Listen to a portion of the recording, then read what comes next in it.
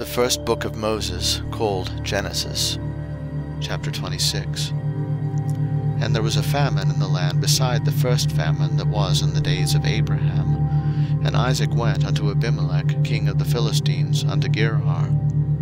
And the Lord appeared unto him, and said, Go not down into Egypt, dwell in the land which I shall tell thee of.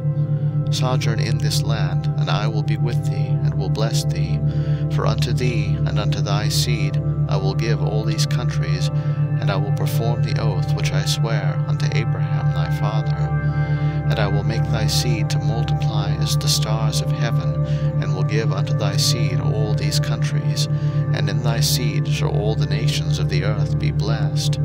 Because that Abraham obeyed my voice, and kept my charge, my commandments, my statutes, and my laws.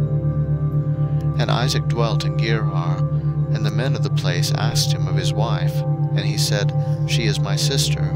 For he feared to say, She is my wife, lest, said he, the men of the place should kill me for Rebekah, because she was fair to look upon.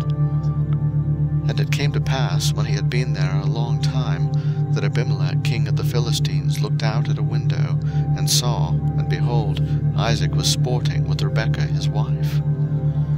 And Abimelech called Isaac, and said, Behold, of a surety she is thy wife.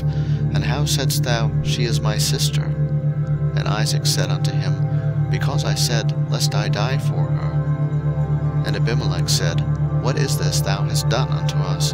One of the people might lightly have lied with thy wife, and thou shouldest have brought guiltiness upon us. And Abimelech charged all his people, saying, He that toucheth this man or his wife shall surely be put to death. Then Isaac sowed in that land, and received in the same year an hundredfold, and the Lord blessed him. And the man waxed great, and went forward, and grew until he became very great. For he had possession of flocks, and possession of herds, and great store of servants, and the Philistines envied him. For all the wells which his father's servants had digged in the days of Abraham his father, the Philistines had stopped them, and filled them with earth. And Abimelech said unto Isaac, Go from us, for thou art much mightier than we. And Isaac departed thence, and pitched his tent in the valley of Gerar, and dwelt there.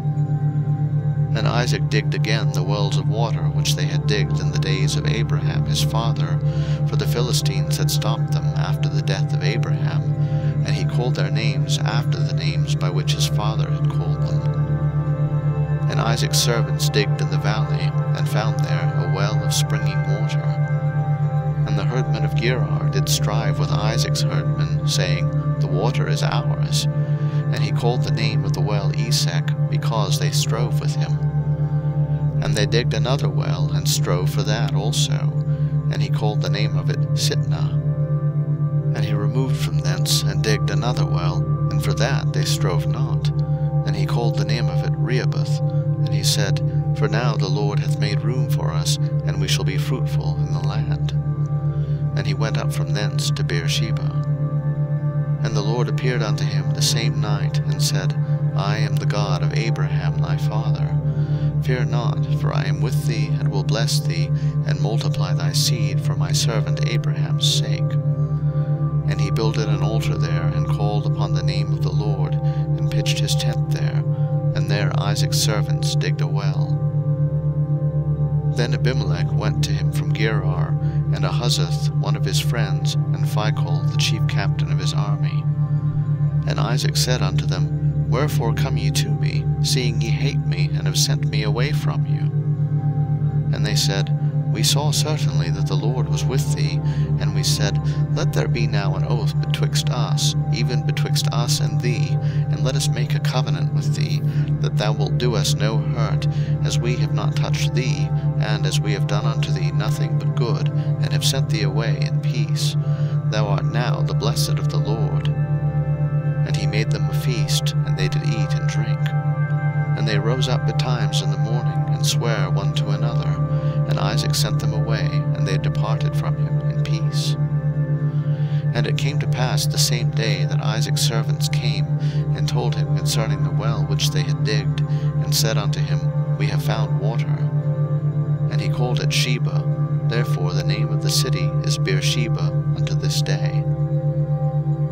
And Esau was forty years old when he took to wife Judith the daughter of Beeri the Hittite, and Bashemath the daughter of Elon the Hittite, which were a grief of mind unto Isaac and to Rebekah.